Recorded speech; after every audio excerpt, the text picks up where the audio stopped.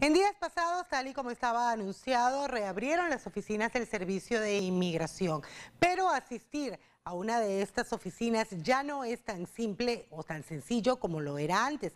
Hay ciertas reglamentaciones que usted debe conocer de antemano antes de presentarse. Y precisamente para hablar sobre este tema me acompaña vía Skype el abogado Jorge Rivera. Bienvenido Jorge, ¿cómo estás? Muy bien, gracias a Dios. Aquí feliz de estar contigo. Y, sí, mira, esta semana abre inmigración, muchos cambios para nuestra gente. Y esta apertura, Jorge, de las oficinas de inmigración es para atender a todos los casos como anteriormente lo hacía. Sí, mire, eh, la apertura es para los casos de la residencia, ciudadanía, huellas, asilo y juramentaciones.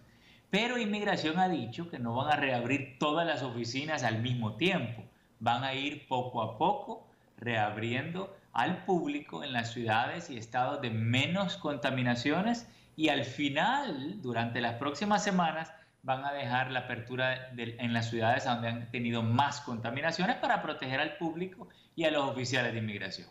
Claro que sí, porque esas medidas no solamente, como nos dice, deben proteger a las personas que asisten a ellas, sino quienes trabajan dentro de las oficinas, que todos en algún momento hemos acudido a alguna de ellas y definitivamente son muchas las personas que pasan durante el día a través de una oficina de inmigración.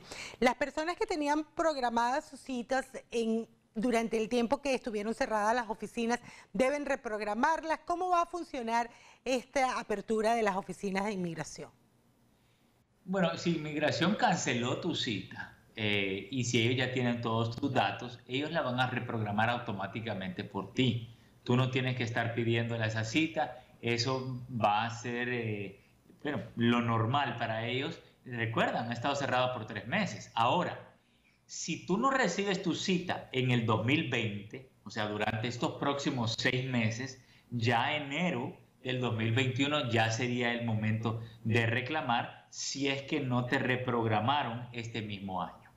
Este proceso va a ralentizar, Jorge, las eh, eh, diligencias que las personas tengan que hacer en el servicio de inmigración porque el número va a ser limitado de las personas que pueden entrar?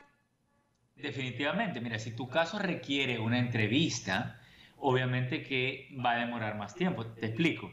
Dentro de inmigración va a haber un distanciamiento social. En la sala de espera ya no estamos en los viejos tiempos donde tenían a todas las personas ahí apretadas, eh, hombro con hombro, Incluso de pie. Sí, ahora todo eso cambió. Tienen, van a guardar tres sillas de espacio entre cada familia, van a tener personal a ir limpiando las sillas, limpiando las oficinas de los oficiales. O sea que ellos van a bajar su capacidad a un 50% aproximadamente. Y eso es bueno para los inmigrantes porque estamos más tranquilos de ir a inmigración y no contaminarnos. Pero es malo porque si depende tu caso de una cita, puede demorar el doble del tiempo en, que tú la recibas. Ok, llegado el momento que conocemos ya el día que debemos presentarnos a la oficina de inmigración, específicamente, ¿qué debemos tomar en cuenta antes de llegar? ¿Cómo debemos prepararnos para ese momento para definitivamente no perder la cita? Porque si no cumplimos con alguna de las reglamentaciones, es posible que nos regresen a la casa.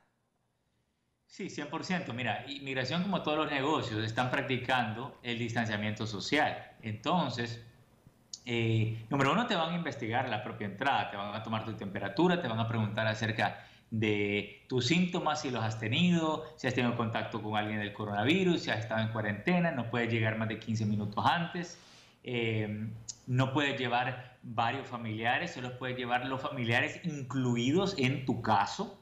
Entonces, eh, si tú no llevas una cobertura, por ejemplo, para tu nariz y tu boca, no te van a dar acceso. No puedes estar pensando que inmigración te va a dar una máscara. Puedes perder tu cita simplemente por no llevar algo con que cubrirte la cara. ¿Qué te parece?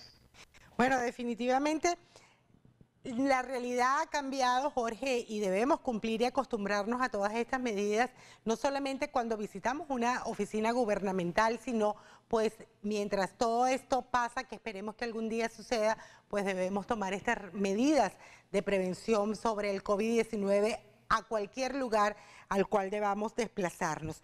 ¿Con qué tenemos que tener mucho cuidado y cuáles son los peligros en las entrevistas de inmigración? Mira, hay que tener mucho cuidado con dos cosas.